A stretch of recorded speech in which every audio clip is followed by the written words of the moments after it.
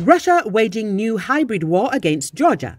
President Zourabichvili Despite failure or because of it, Russia has launched a new hybrid war against Georgia using all forms of weapons, stated the president of Georgia, Salome Zourabichvili. According to her, Russia continues to wage a hybrid war against Georgia using all its tools. Speaking about the challenges facing Georgia in 2023, the president of Georgia recalled the war in Ukraine. Russia could not break Ukraine. Indeed, it failed to undermine the unity and solidarity of Europe and even strengthened it.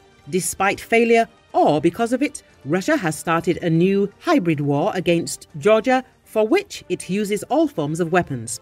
Zourabichvili said. She also emphasized that Russia's plan to turn the Ochamchira port into a military base aims to shift the confrontation to the Black Sea into their territorial waters, thereby creating a threat to the strategic perspective of the Black Sea.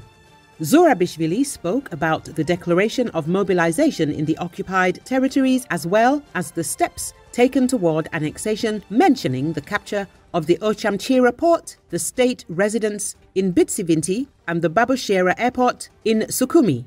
According to her, constant intimidation, persecution, kidnapping and killing of residents continue along the occupation line. The official authorities of Georgia consider Abkhazia and South Ossetia as territories occupied by Russia. Earlier, the head of the occupation administration of Abkhazia, Aslan Bzania, claimed to have reached an agreement with Russia to establish a base on the region's territory where the Black Sea Fleet will be stationed. However, the Parliament of Georgia decided not to consider a resolution condemning the plans of the Russians to build a base for the Black Sea Fleet in occupied Abkhazia.